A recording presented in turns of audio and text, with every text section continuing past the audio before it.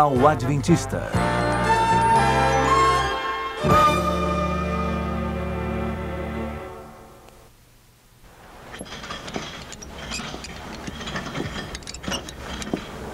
Cicatrizes do passado.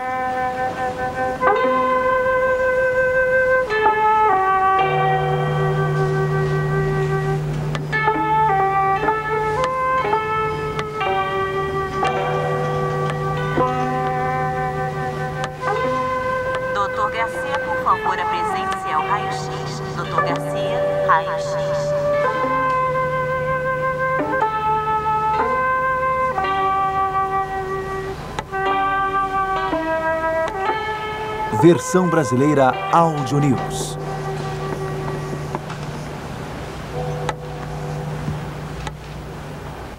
São muito lindas. Obrigada.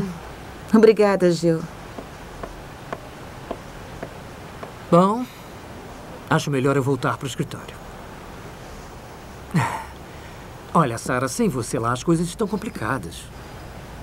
Você faz eu me sentir muito importante. Mas eu acho melhor você procurar outro assistente. Eu não vou poder trabalhar durante alguns meses. Ordens médicas. Peraí, estou contando que você volte a tempo de assumir a função do Raul. Como compradora? Claro. Você conhece o serviço melhor que ninguém. Envolve muita responsabilidade. E muitas viagens. Você dá conta. Vai piorar minha úlcera. Você não sabe que úlcera é um sinal claro da capacidade de um executivo? E além do mais, talvez um pouco de trabalho ajude essa úlcera. Tudo bem. Eu posso esperar um pouco. Mas olha, eu quero que aceite esse emprego. Obrigada pela oferta.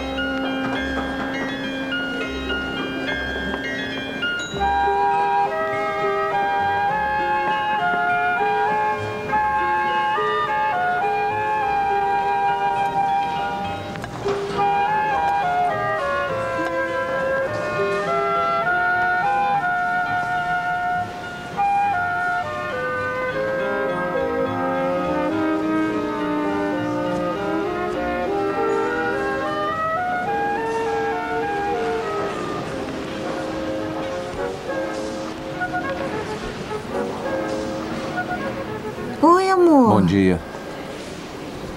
Como vai, Gil? Tudo ótimo. Eu vim trazer essas flores do pessoal da empresa. Estamos sentindo falta dela no escritório. Eu estou vendo que sim. Mas Sara deve ter falado sobre. Sobre sair do emprego. Sim, mas o lugar dela está garantido. Sabe, eu não posso perder uma assistente assim. Bom, acho melhor voltar para o trabalho. Foi um prazer vê-lo, Beto. Sara, tchau. Tchau, Gil.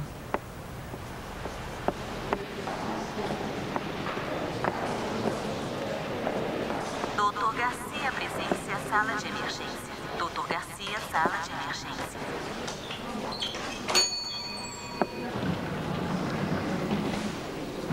Oi, Gracinha.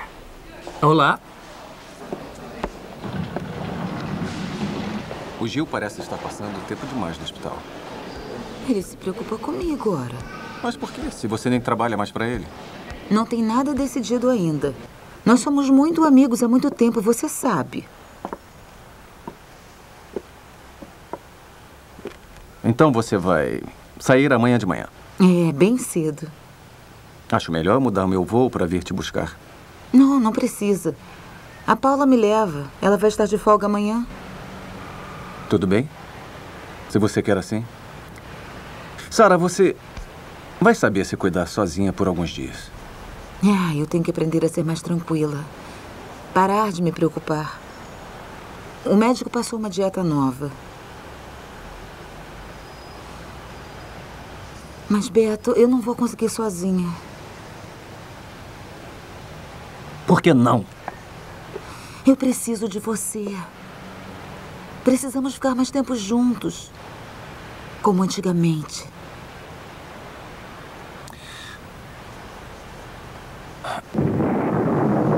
Beto. Beto. Ah, você está aí. Sabia que eu fiquei te procurando pelo hospital inteiro? Não? Sabia que esqueceu suas muletas? Deve ser um bom sinal, não é, meu amor? Vem, vamos tentar. Oi, Paula. Quem é essa menininha? Ah, essa é a Lene. Ela chegou aqui hoje cedo do Vietnã.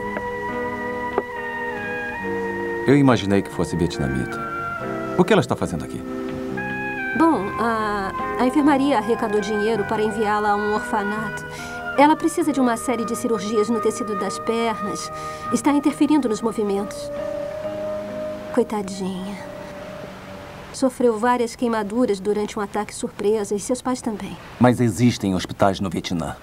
Alguns. Tem até um especializado em cirurgia plástica e enxerto de pele. Mas existem pelo menos 50 mil crianças esperando ajuda. Então, a Lene é uma menos. Escuta, Lene, por que é que você não diz olá para o Beto e a Sara? Ai, você consegue. Olá, Sara. Isso. Oi, querida. Quantos anos você tem? Ah, tem seis. Ela não fala nossa língua e arranha um pouquinho de francês, mas fala mesmo vietnamita. Ah, amor, você aprendeu vietnamita na guerra. Não, não, eu não lembro de mais nada. Olha só, eu tenho que ir, eu tenho um monte de trabalho para fazer antes de eu viajar amanhã. Está bem. Eu queria poder ajudar. Eu volto daqui a uma semana. Eu ligo para você. Boa viagem. Tchau, Beto. Tchau. Bom, eu acho melhor levar essa garotinha de volta para o quarto dela. Vamos, Lene. Isso. Ah, olha, se souber de alguém que queira ficar com a Lene até ela poder fazer a cirurgia e entre uma cirurgia e outra, sabe? As cirurgias devem levar umas seis semanas e é muito tempo para ela ficar aqui. Seria tão bom se ela tivesse uma casa. Um lar de verdade, não é?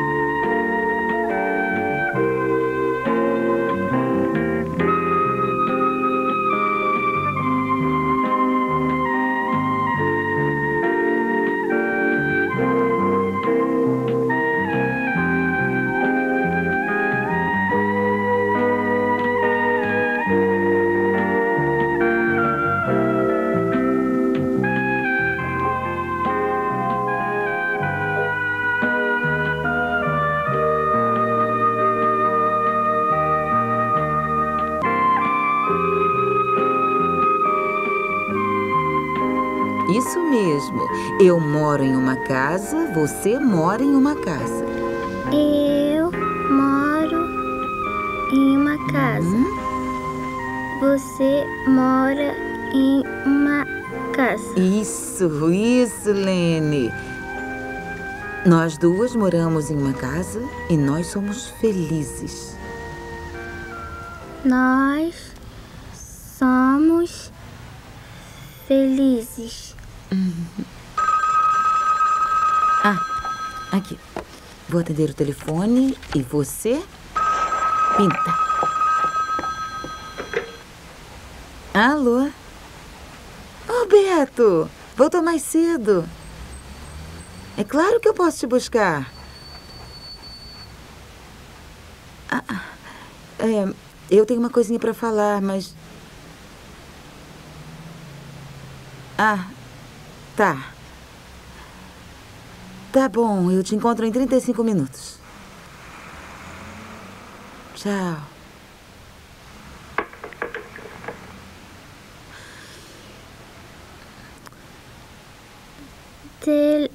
Telefone. Isso, querida. Telefone. Pois é, eu mal cheguei e tenho que fazer outra viagem daqui a alguns dias. Como tem passado? Eu estou ótima. Olha só, Beto- eu planejei irmos a um restaurante para comemorar. Eu fechei um contrato de 50 mil dólares. Beto! O que é que ela está fazendo aqui? Ah, não fica zangado, Beto. Eu tentei explicar, mas você não deixou. Explicar? O quê? Ela devia estar no hospital. Você voltou dois dias antes e agora não quer ouvir. Eu não vou dirigir com ela sentada ao meu lado. Ela te incomoda tanto assim? Sim, incomoda sim. E tudo o que ela me faz lembrar.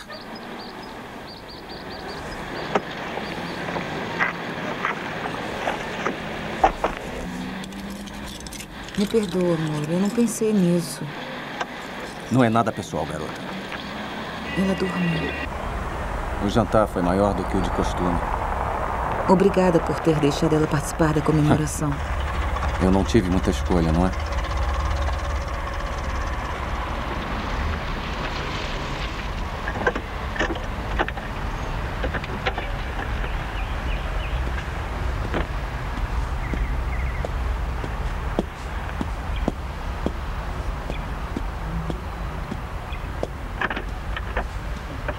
Melhor acordá-la, não é? Não, não. Tudo bem, eu levo.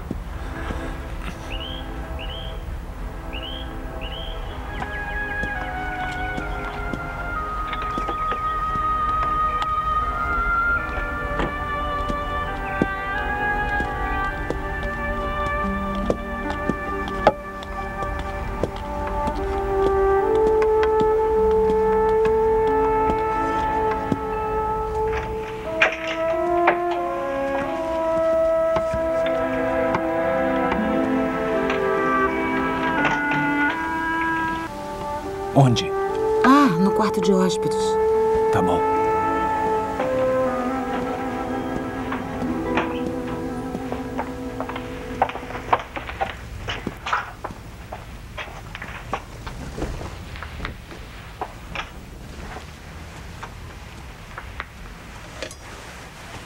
Obrigada. Deixa que agora eu cuido dela. As pernas dela estão. O médico disse que ela tem chance de andar normalmente depois das cirurgias. O que, que ela tem agora? Acho que é pesadelo.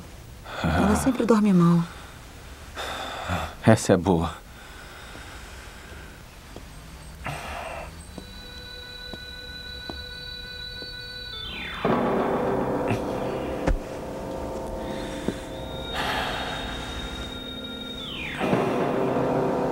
Ei, relaxa, cara. Você vai conseguir.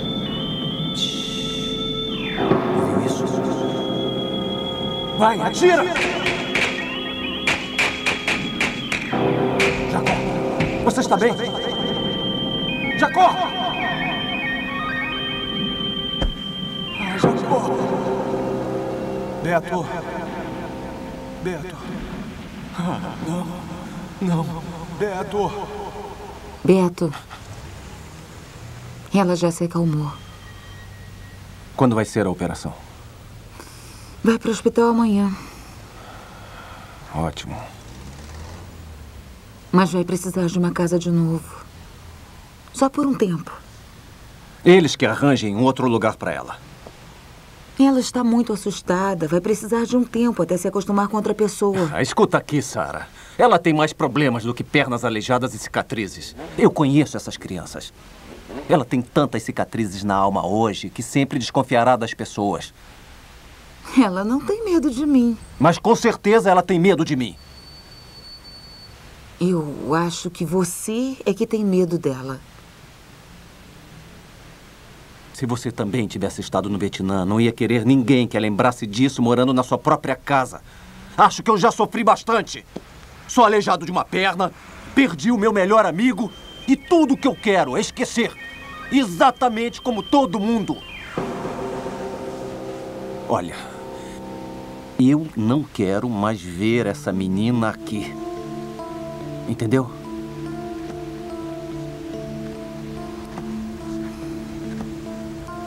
Está bem. Desculpe, eu, eu devia ter perguntado antes. Mas você estava viajando. Eu vou visitá-la no hospital. Ótimo. Quando eu estiver viajando, você pode fazer o que quiser. E eu vou ligar antes de voltar para casa. Para você poder ajeitar as coisas.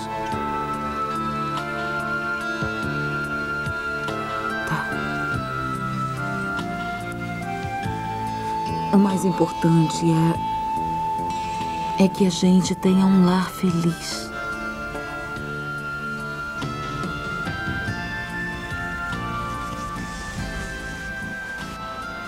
Ora, ora, que bela família. Bom dia, doutor. Oi, doutor Félix. Como anda a nossa menininha? Ah, Até engordou um pouco? ela está ótima. Demorou um pouquinho para se acostumar com uma casa diferente, mas ela aprende rápido.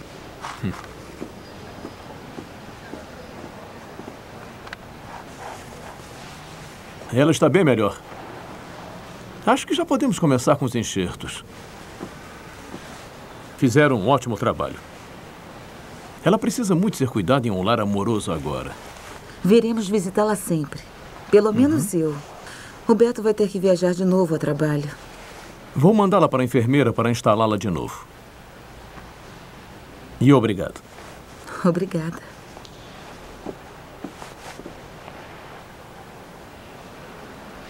Já acabou. Podemos ir agora? Vou falar com o pastor. Pedir para ele encontrar outra pessoa.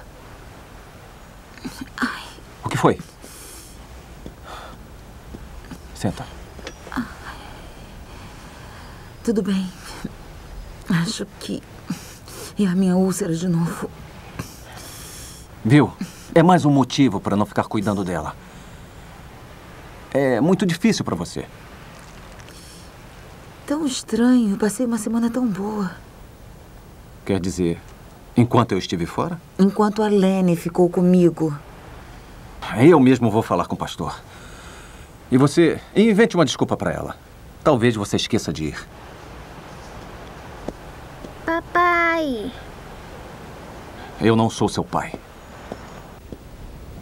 Sim, eu tenho certeza de que podemos conseguir um novo lar para Lene.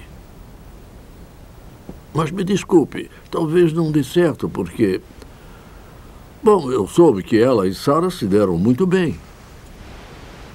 É, isso é verdade. O problema foi que. Bom, a Lene, ela me incomoda. Ela me faz lembrar de coisas que eu preciso esquecer. Quer dizer que ela o ameaça de alguma forma? É. É, é isso sim. Alguns anos atrás, antes da guerra, eu faria qualquer coisa por uma pessoa como ela. E a minha esposa, ela era tudo para mim. Mas agora eu não sei. Parece que existe um abismo entre mim e as pessoas. Acho que eu endureci com sofrimento. Mas esse não pode ser o caminho certo. Não pode ser certo ser duro assim. Lembra da história bíblica de Lázaro que morreu? Jesus foi à casa dele e encontrou a irmã dele chorando. A Bíblia diz: Jesus, vendo-a chorar, agitou-se no espírito e comoveu-se. E acrescenta: Jesus chorou. Foi amor através da compaixão.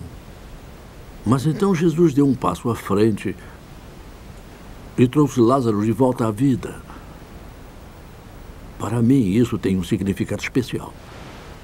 Que mesmo hoje neste planeta, Jesus, o nosso Criador, pode nos recriar, nos dar vida nova, novas emoções, mudar tudo. Talvez. Talvez. Deus esteja tentando me modificar através desta menina. Ou através de Lenny, ele esteja tentando alcançar o amor e o interesse que ainda existe. E Deus quer sarar as suas cicatrizes também. As internas. Bom, acho que não tem problema a Sara cuidar dela por mais algumas semanas. Pelo menos até ela voltar para o Vietnã. Ótimo. Fico feliz em ouvir isso. Tome aqui um cartão com o texto de Isaías que eu costumo deixar com o paciente após a visita. Fique com ele. Deixe que esta mensagem faça parte de sua vida. Eu sei que vai ajudar. Mas ele foi traspassado pelas nossas transgressões e moído pela nossa iniquidade. E pelas suas pisaduras fomos sarados. Isaías 53, 5.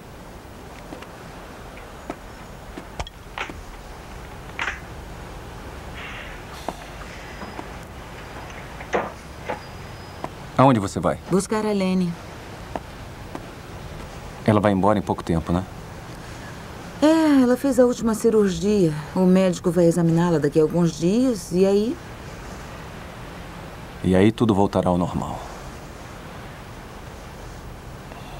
Olha, eu te levo ao hospital. Eu tenho tempo. Não precisa. Mas eu quero, e já que está perto da viagem e a Lene vai voltar para o Vietnã, bom, vou pelo menos me despedir. Vai ser ótimo. Então vamos. Pegou as chaves? Peguei.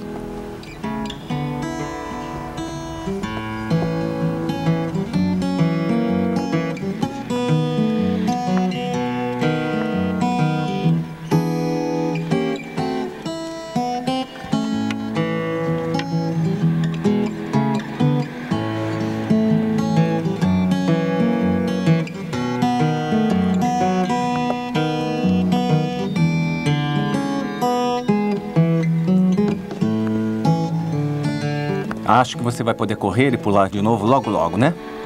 A perna tá boa? Olha, eu tive uma grande ideia. Eu conheço uma sorveteria ótima. O que, que você acha disso?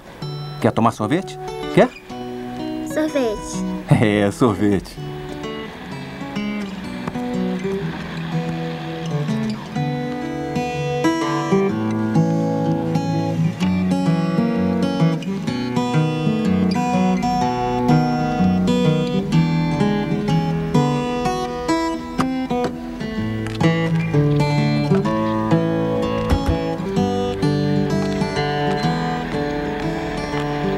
Você vem com a gente? Não, vão na frente. Eu vou até o toalete e depois Tá. encontro vocês.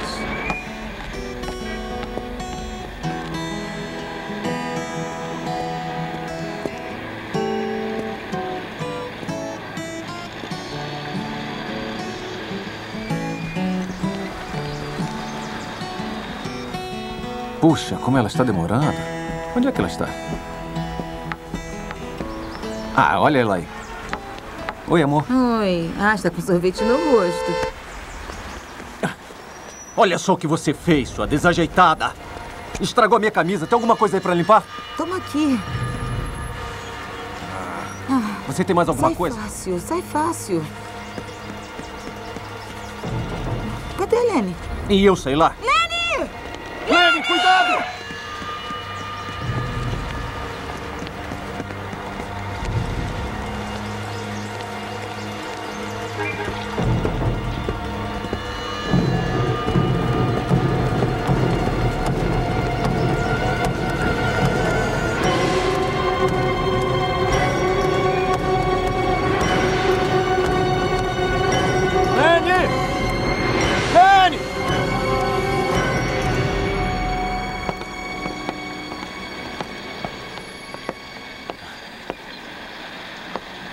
Oi, Lene.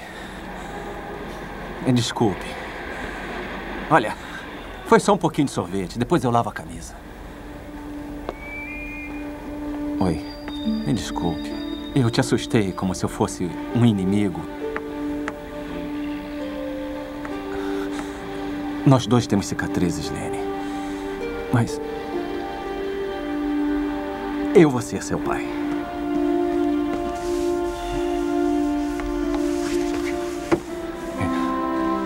Ela está bem.